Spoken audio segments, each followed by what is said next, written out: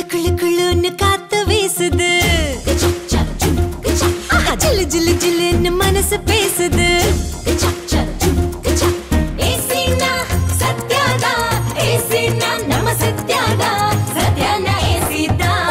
சத்யாவில் குழு குழு AC offer Sathya. கலக்கல் cinema நேர்கள் அனைவருக்கும் வணக்கம். தமிழ் சினிமா இண்டஸ்ட்ரியில புது புது இயக்குனர்கள் அறிமுகம் ஆயிட்டே தான் இருக்காங்க.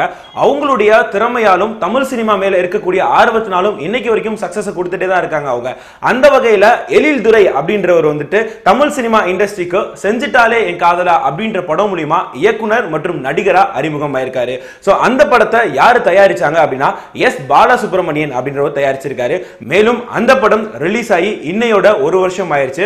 ஒன் இயர் ஆஃப் செஞ்சுட்டாலே என் காதல செலிப்ரேட் பண்ணிட்டு இருக்காங்க ஸோ அந்த படம் ரிலீஸ் ஆகி ரசிகர்கள் மத்தியில மக்கள் மத்தியில ஒரு நல்ல வரவேற்பு கிடைச்சிருக்கு. மேலும் இந்த படத்துல ரொம்ப ஸ்பெஷலான ஒரு விஷயம் என்ன அப்படின்னா பெரிய பெரிய நடிகர்கள் யாரும் கிடையாது பெரிய பெரிய டெக்னீஷியன்ஸ் யாரும் ஒர்க் பண்ணல.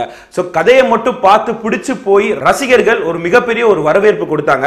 இதனைத் தொடர்ந்து இந்த படத்தினுடைய இயக்குனர் மற்றும் நடிகரான எழில் துரை தன்னுடைய ஃபேஸ்புக்கில் என்ன போஸ்ட் பண்ணியிருந்தாரு அப்படின்னா சோ படம் ரிலீஸ் ஆகி இன்னையோட ஒரு வருஷம் ஆயிடுச்சு. ஸோ இதற்கு சப்போர்ட்டிவாக இருந்த ரசிகர்கள் நண்பர்கள் பத்திரிகையாளருக்கு ஒரு மிகப்பெரிய ஒரு நன்றி அப்படின்னு சொல்லிட்டு தெரிவிச்சிருந்தாரு.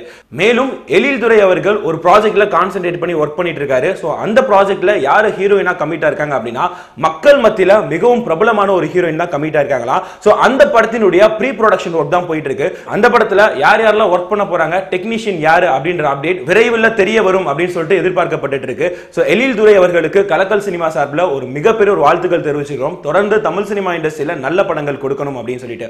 இந்த வீடியோ பத்தி உங்களுடைய கருத்துக்களை நீங்க தெரிவிக்கணும் அப்படின்னா கீழே கமெண்ட் பாக்ஸ் போய் உங்களுடைய கருத்துக்களை நீங்க தெரிவிக்கலாம்.